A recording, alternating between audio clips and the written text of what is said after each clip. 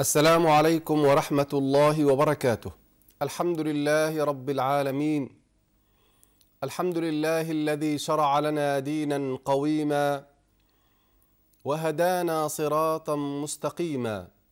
اللهم لك الحمد كله ولك الشكر كله وإليك يرجع الأمر كله علانيته وسره. اللهم لا علم إلا ما علمتنا ولا فهم إلا ما فهمتنا. اللهم علمنا ما ينفعنا وانفعنا بما علمتنا يا رب العالمين. أهلا وسهلا بكم أبناءنا وبناتنا طلاب الصف الأول الإعدادي الأزهري.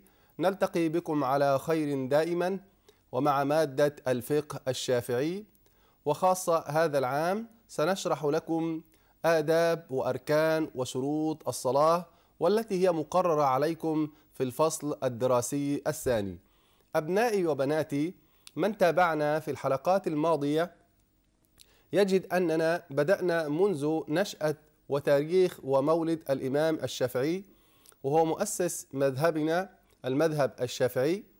ثم تكلمنا عن واضع الكتاب وهو محمد بن قاسم الغزي رحمه الله وهو تقريب التقريب.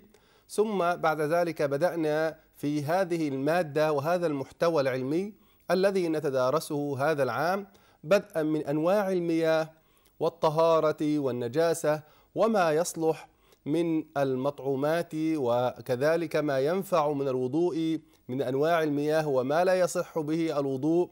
ثم تكلمنا عن الغسل وعن الطهارة.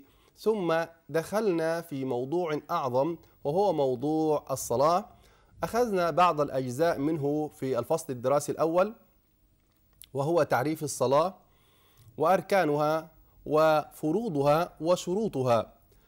يبدأ الفصل الدراسي الثاني من هيئات الصلاة ثم بعد ذلك مبطلات الصلاة وسجود السهو ثم يستكمل حتى ننتهي من باب الصلاة وهو ركن أساسي من أركان ديننا الحنيف ثم بعد ذلك الزكاة وما فيها وأنواعها وأنواع الزكوات وزكاة الفطر ثم بعد ذلك الصيام والحج لمن استطاع إليه سبيلا. وبذلك نكون قد أخذنا في هذا العام بفصليه الدراسي الأول والثاني قد أخذنا قسم العبادات من أول أبواب الطهارات حتى نهاية أبواب الحج والعمرة. أسأل الله لي ولكم التوفيق. لكن أبنائي وبناتي قبل أن ندخل في غمار هذا الموضوع وهو موضوع مبطلات الصلاة لابد اولا أن تعرف الفرق بين الركن في الصلاة وشرط صحة الصلاة. الركن أبنائي وبناتي هو يدخل في داخل الصلاة كالركوع والسجود وقراءة الفاتحة وهذه الأركان والطمأنينة طبعا والقيام وأكثر من ثمانية عشر ركنا ذكرناها في حلقة أركان الصلاة لمن تابعنا فيها. ثم بعد ذلك هناك سنن في الصلاة منها التشهد الأول في الركعة الثانية وخاصة لو كانت الصلاة رباعية أو ثلاثية كصلاة الظهر والعصر والمغرب والعشاء فهذا يسمى التشهد الأول هذا يسمى سنة. وكذلك الدعاء الذي يكون بعد صلاة الصبح بعد الرفع من الركوع بعد قول الإمام سمع الله لمن حمده يدعو اللهم اهدنا فيمن هديت وعافنا فيمن عافيت. هذا الدعاء المحفوظ. ثم بعد ذلك أخذنا هيئات الصلاة يعني كيفية رفع اليدين في تكبيرة الإحرام وضع باطن الأيمن على الظهر الأيسر. هذه تسمى هيئات الصلاة التسبيح الذي يدور في الركوع سبحان ربي العظيم والذي يدور في السجود سبحان ربي الأعلى والتسبيح بين السجدتين. هذا يسمى هيئات الصلاة. لا تبطل الصلاة بهذه الهيئات لأنها ليست أساسية في الصلاة. لكن المسلم طبعا يذكر ربه سبحانه وتعالى ويدعو ربه وذكرنا بعض الهيئات لكن أذكركم أبنائي وبناتي ببعض هيئات الصلاة التي يعني مرت علينا في درس الصلاة. لكن في أثناء بدايتنا ونحن نتكلم عن مبطلات الصلاة سنذكرها مع كلامنا عن مبطلات الصلاة. وبداية فصلنا الدراسي الأول من المقرر في مذهب الإمام الشافعي رحمه الله نأخذ أبنائي وبناتي الدرس الأول تحت عنوان مبطلات الصلاة. الصلاة أبنائي وبناتي هي عماد الدين وهي ركن أساسي من أركان ديننا الحنيف. النبي عليه الصلاة والسلام قال بني الإسلام على خمس شهادة أن لا إله إلا الله وأن محمد رسول الله ثم ذكر بعدها عمود الدين وأساس الدين والفرق بين المسلم وغير المسلم وهي الصلاة. فالصلاة تبطل أبنائي وبناتي بأحد عشر شيئا. ما هي الأشياء التي تبطل بها الصلاة؟ أول شيء تبطل به الصلاة الكلام الذي يصلح لخطاب الآدميين وهو أول شيء يبطل الصلاة. يبقى أول شيء في مبطلات الصلاة الكلام. إحنا عايزين نرتبهم مع بعض كده. الكلام العمل الحدث. الحدث لو إنسان أحدث في الصلاة يبطل صلاته بس هنفصل واحدة واحدة. أول حاجة الكلام الصالح لخطاب الآدميين. يعني إيه معنى كلام الصالح لخطاب الآدميين؟ يعني أنت اما كلمة يفهم بيها اللي معدي قدامك أو اللي جنبك إن أنت بتكلمه. زي مثلا هو قال لك مثلا إيه إزاي حالك؟ فأنت قلت له كويس. كلمة كويس دي دي كلام تصلح لخطاب الآدميين؟ نعم تصلح لخطاب الآدميين. فهذه كلمة تبطل بها الصلاة. أنت عامل إيه؟ فأنت قلت له أنا تمام. وانت بتصلي. هذا كلام يصلح لخطاب الآدميين؟ نعم يصلح لخطاب الآدميين. فهذا يبطل الصلاة. لكن لو انت مثلا بتصلي وقلت الحمد لله. هذا كلمة الحمد لله. تبطل الصلاة نقول لك لا. لأن الحمد لله دي كلام خطاب رب العالمين. أو قلت أنت وبتدعو في السجود أو في مثلا وقوفك قلت رب اغفر لي رب ارحمني مثلا رب هدي لي أولادي يا رب نجحني يا رب أتفوق السنة دي. ده كلام لا يصلح لخطاب الآدميين ولكن يصلح لخطاب رب العالمين. فهذا كلام لا تبطل به الصلاة بل هو دعاء في الصلاة. والصلاة زي ما إحنا عارفين أبنائي وبناتي هي لغة الدعاء. فاكرين لما قلنا تعريف الصلاة قلنا الصلاة هي إيه؟ هي دعاء. فهي من أولها إلى آخرها مشتملة على دعاء. فالدعاء أصل العبادة أو مخ العبادة. ادعوني أستجب لكم كما قال الله سبحانه وتعالى.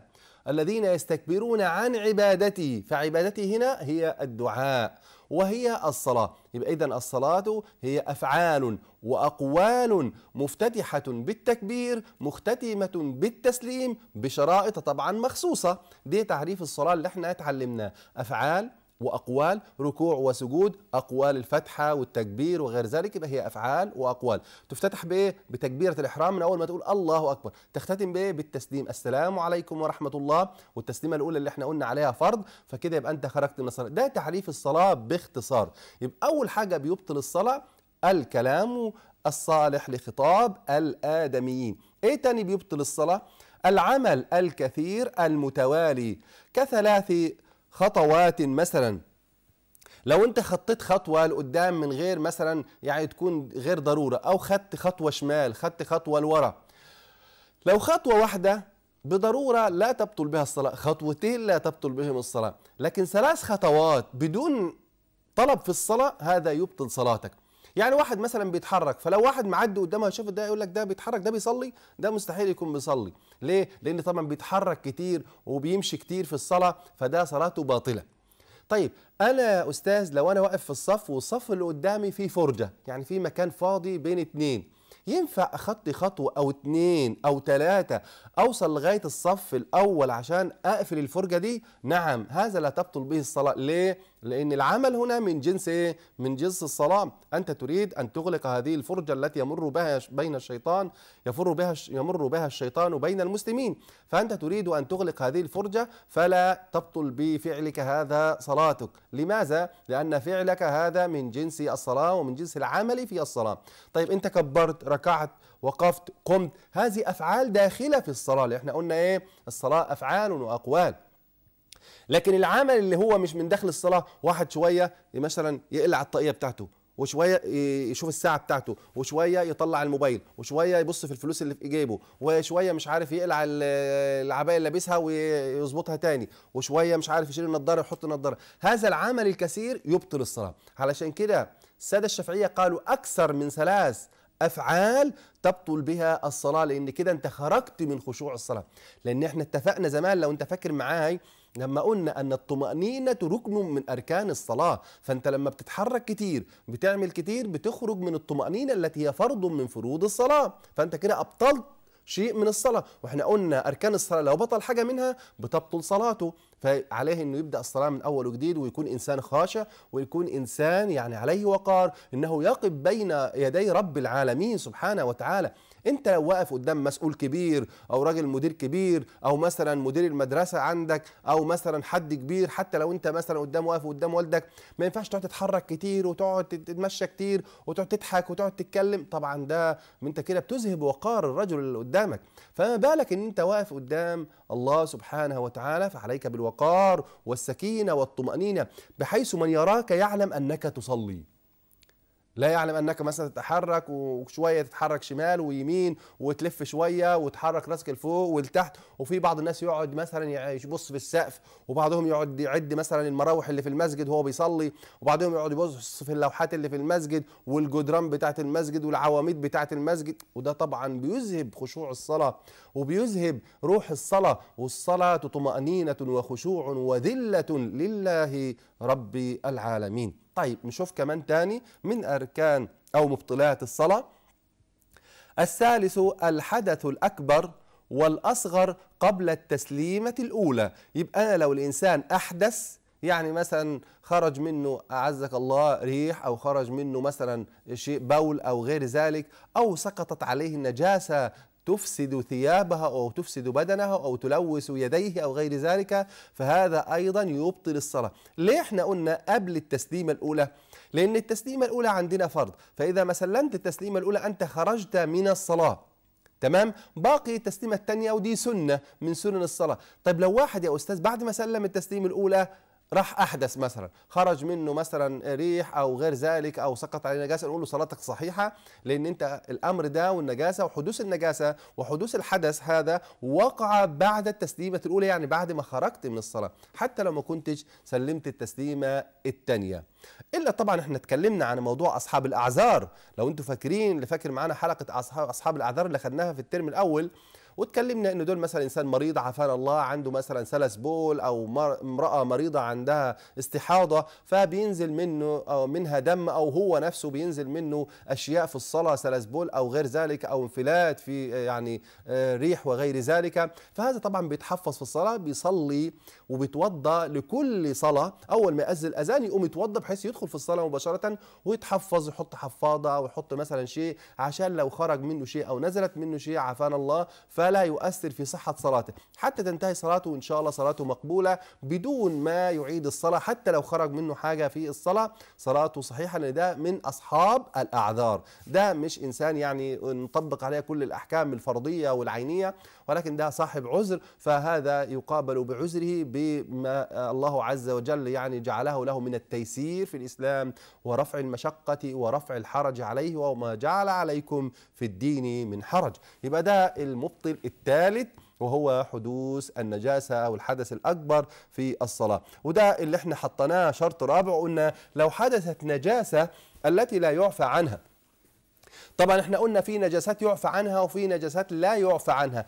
يعني مثلا واحد وقع عليه مثلا نقطة دم صغيرة مش باينة في إيده. هذا من عفو من عفو الله عز وجل. وقدرنا عفو النجاسات اللي هي على الإيد أو على الثوب تكون مقدار درهم. يعني حاجة صغيرة كده على إيدك أو حاجة على ثيابك وأنت ما خدتش بالك منها وما انتبهتش ليها وصلت بها هذا من المعفي عنه. لكن لو كان مثلا شيء كبير بول على ثيابك أو نجاسة على هدومك أو شيء على بدنك هذا تبطل به الصلاة ليه بقى؟ ممكن مثلا أنت معدي من تحت عمارة مثلا وفي رذاذ مية نزل من البلكونة على الملابس بتاعتك فأنت بتحمل الأمر ده على إيه؟ على الطهارة لأن طبعا غالبا دول يعني بينشروا هدومهم والهدوم طبعا مغسولة بمية طهرة فهذا لا يبطل بالصلاة إلا لو أنت تيقنت إن المية اللي وقعت من فوقك دي دي مية نجسة. يبقى في بالتالي المية الرذاذ والمية اللي جت على ثيابك دي نجست إيه؟ نجست ثيابك. فيجب عليك إزالة هذا النجس تطهير الثياب أو تغيير الثياب. وإن وقعت على بدنك لابد من غسلك لبدنك. لك تقول له يا أستاذ طب أتوضأ نقول لك لا لا يجب عليك وضوء لأن دي نجاسة وقعت على إيدك أو وقعت مثلا على وجهك أو على رأسك فتغسل المكان اللي وقعت فيه النجاسة. والله عز وجل رفع عنا الحرج في هذا الأمر. لكن لو شيء صغير نقطة مية وإنت يعني حاسس إن دي نقطه نقطة فيها نجاسة وبعدين صليت وما تنبهتش ليها غير بعد الصلاة نقول لك هذا من العفو الذي عفى الله عز وجل عنه. لأن ده شيء بسيط. قد لا تراه بعينك أو لا تشمه بأنفك أو لا تلمسه بيدك فهذا مما عفى الله عز وجل عنه. خاصة لو كان الإنسان مثلا به قروح واحد مثلا بيهرش كتير فساعات مثلا أثر الهرش بتاعه بيخرج دم مثلا عافانا الله مثلا مريض بمرض مثلا أو مثلا في ديدان مثلا في مشكلة عنده في البيت. فبيهرش كتير. فأثر الهرش ده أو أثر موت الحشرة الصغيرة دي بيترك أثر دم صغير. فهذا أيضا من العفو عن هذه النجاسات. وإن كانت هي نجاسة لكن من العفو عنها التي عفى لأن طبعا هيحمل الإنسان مشقة. كل شوية يقعد يغسل بدنه وكل شوية يقعد يغير ثيابه وتبقى يعني حكاية معاه. فالله عز وجل عفى عن ذلك. لكن لو الأمر تكاثر وأصبح مثلا في دماء كثيرة في بدنه والدماء دي دماء نجسات أو شيء أمر ظاهر وواضح وما ينفعش يخش المسجد بيه فده عليه إن هو يطهر نفسه. زي مثلا واحد شغال جزار واحد شغال جزار بيذبح كل يوم طبعا وبيعلق اللحمة والثياب اللي فيه دي كلها متلطخة بالدم. ينفع يخش المسجد كده بالثياب الملطخة بالدم؟ طبعا وممكن يكون دم ده من أثر الذبيحة وأثر مثلا الروث بتاعها. نقول له لا ما ينفعش يا أخي الكريم اجعل لك ثوبا للصلاة. انت راح تصلي في المسجد خلاص توضى وبعدين غير الثياب اللي انت بتذبح بيها والشغل بتاعتك والبس ثياب تدخل بيها المسجد. ما ينفعش تخش المسجد كده والثياب بتاعتك الروب اللي انت لابسه بتاع الذبيحة والجلابية فيها دم وملطخة بالروث بتاع الحيوان وهذا طبعا يؤثر في المساجد ويؤثر على وقوفك بين يدي الله عز وجل. انت لو رايح يعني تقابل حد كبير هتقابله بالشكل الملطخ بالدم ده. واحد مثلا شغال مثلا بينظف الشارع بتاعنا أو مثلا شغال في الصرف الصحي وثيابه والهدوم الشغل بتاعته متلوثة بسبب إن هو بينزل في الصرف أو ينظف الشوارع أو كده ما ينفعش يخش المسجد بالشكل ده يجعل لنفسه ثياب يصلي فيها حتى لا يؤذي المصلين أو يلوث المسجد بما يحمله منين؟ من نجاسات. الأفضل إنه يجعل له ثياب أو يحاول يطهر ثيابه إذا كان علق بها نجاسات ويدخل المسجد ويصلي والله عز وجل يتقبل من الجميع. نشوف كمان تاني من مبطلات الصلاة. انكشاف العورة كلها أو بعضها مما يجب ستره في الصلاة عمدا فإن كشفها الريح فسترها في الحال لم تبطل صلاته. نوضح الحتة دي. مسألة انكشاف العورة أبنائي وبناتي في الصلاة. واحد بيصلي وبعدين البنطلون بتاعه مثلا عافانا الله اتقطع وكده آه كشفت عورته. طب ده صلاته صحيحة؟ نقول له لا صلاتك غير صحيحة لأن إحنا عندنا من شروط صحة الصلاة ستر العورة. فالعورة انكشفت. طيب زيه زي. الراجل ده نفس الحكاية المراه لو في البيت لو هي لابسة مثلا الإسدال بتاع الصلاة والإسدال بتاع الصلاة مقطوع. فهي بتصلي وانكشفت شيء من جسدها. نقول لها صلاتك غير صحيحة. ليه لإن العورة المرأة كل جسدها إلا الوجه والكفين. أما الرجل عورته من السرة إلى الركبة. فلو انكشف شيء من عورته صلاته بطلت. ليه؟ لأن من شروط صحة الصلاة خد بالك من كلمة صحة الصلاة فستر العورة فهو الآن عورته انكشفت فبطلت صلاته. فبالتالي عليه ستر عورته. عشان كده علماءنا قالوا إيه؟ فإن كشفها الريح وسترها لا يعيد الصلاة. يعني مثلا حاجة مثلا الهواء طير هدومه وبعدين هو لحق نفسه ولم مثلا ملابسه وغطى نفسه ما فيش كده مشكلة. لكن لو العورة انكشفت ولم يستر عورته بحيث أنه يخرجه عن خشوعه ويخرج المصلين عن موقفهم بين يدي الله عز وجل له صلاتك بطلت. طيب في مشكلة تاني تحدث مع بعض الطلاب أو بعض الشباب. ساعات بيخش المسجد ولابس مثلا بنطلون والبنطلون مثلا بيسموه البنطلون متسقط فيجي الشاب ده يركع البنطلون بينزل لتحت فعورته بتبان من الخلف. أو يجي يسجد البنطلون طبعا عشان هو إيه متخيط بخياطة مشكلة لأن دي مش بناطيل اسد دي حاجة مستوردة.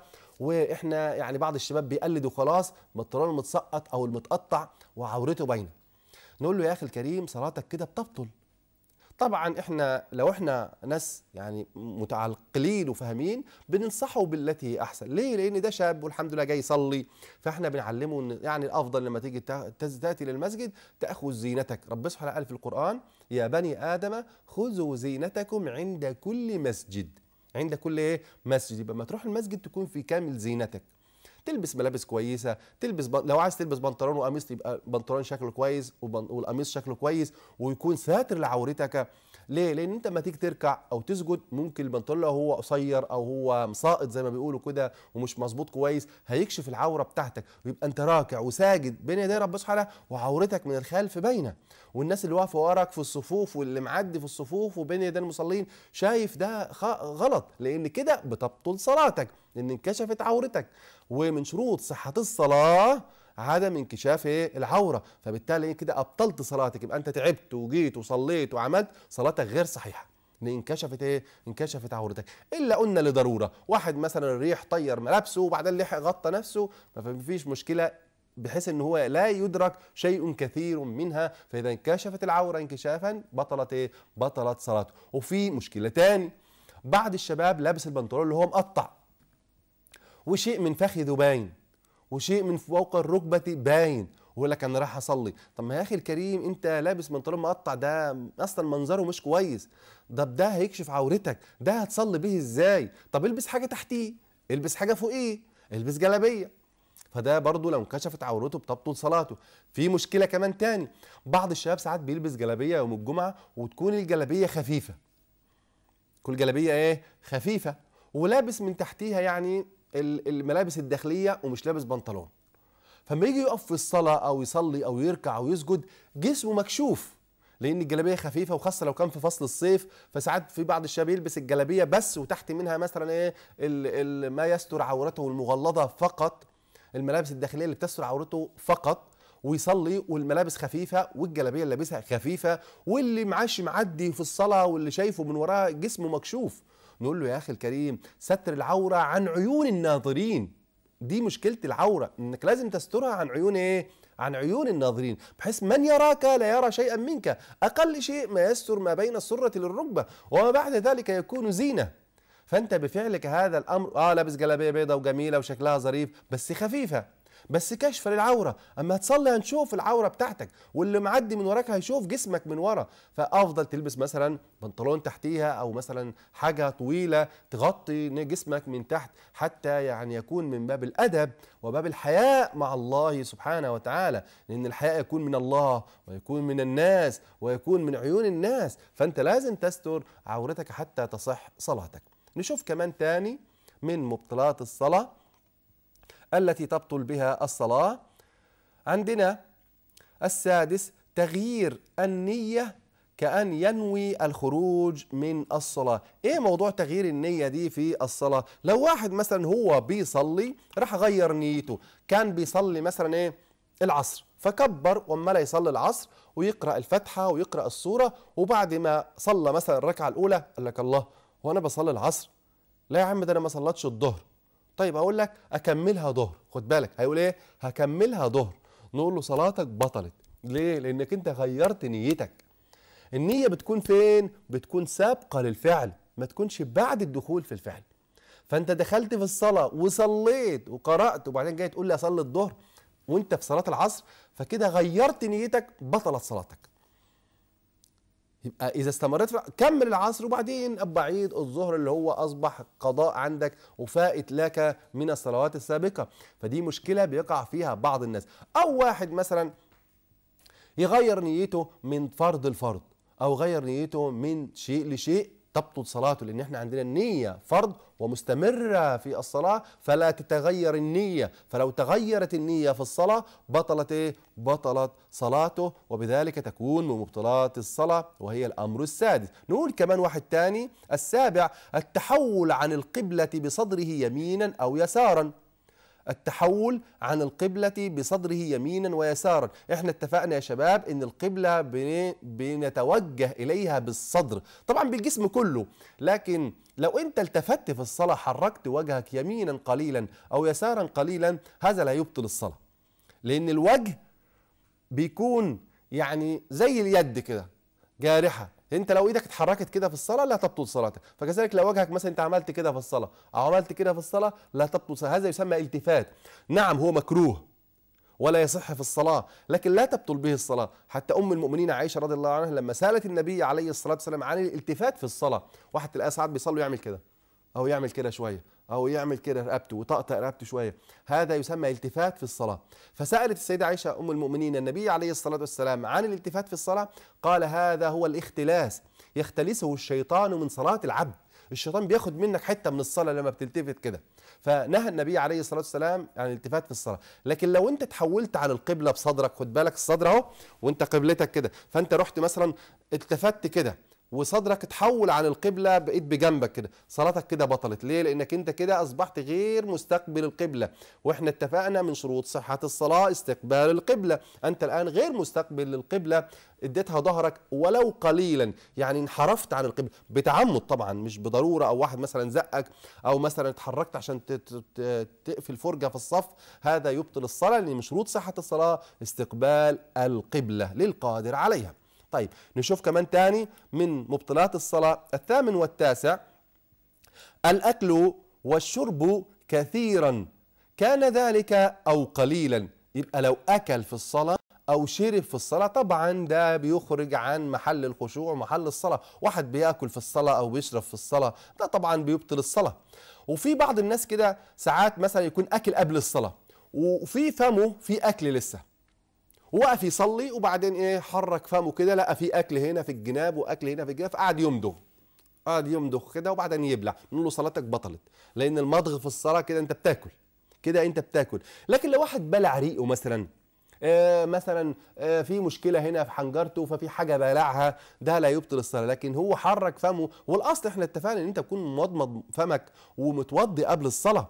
حتى لو كنت متوضي وطاهر وبعدين أكلت نقول لك مضمض فمك قبل الصلاة. واحد مثلا عافانا الله شارب مثلا إيه ربنا يعافينا والمسلمين شارب سجاير قبل الصلاة أو شارب مثلا شيشة. وطبعا إحنا ممنوع إن إحنا نعمل الحاجات دي كمسلمين وكمصريين. ما ينفعش إن إحنا نرمي بأيدينا إلى التهلكه ونتعاطى هذه المدخنات وهذه الأمور لأن تضر بصحة المسلم وصحة الإنسان عموما.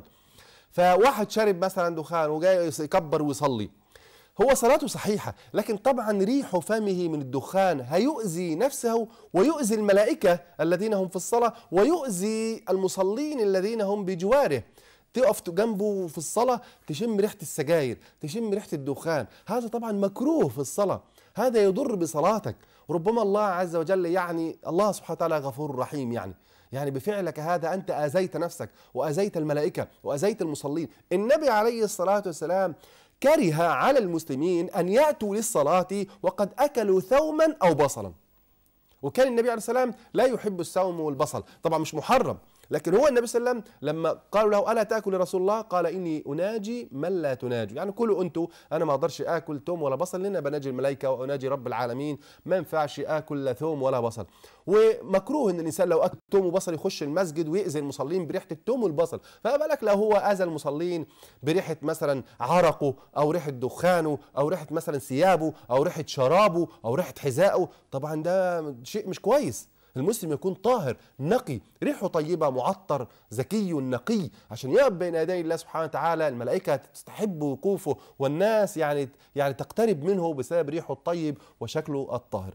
طبعا الأكل والشرب منهي عنه إذا أكل في صلاته بطلت صلاته لأنه فعل مبطل للصلاة. نشوف كمان تاني القهقهة وده برضه من مبطلات الصلاة. طب إيه الفرق بين القهقهة والتبسم؟ طبعا القهقهة ضحك مع صوت هذا يبطل الصلاة. لكن التبسم واحد مثلا يعني تبسم فظهرت أسنانه. وبذلك أبنائي وبناتي نكون قد بينا مبطلات الصلاة والأعمال التي تبطل بها صلاة المسلم وعليه أن يعيد هذه الصلاة التي بطلت. نسأل الله العظيم رب العرش الكريم أن يعلمنا ما ينفعنا وأن ينفعنا بما علمنا. أستودعكم الله الذي لا تضيع ودائعه على أمن أن ألقاكم في الحلقة القادمة. والسلام عليكم ورحمة الله وبركاته.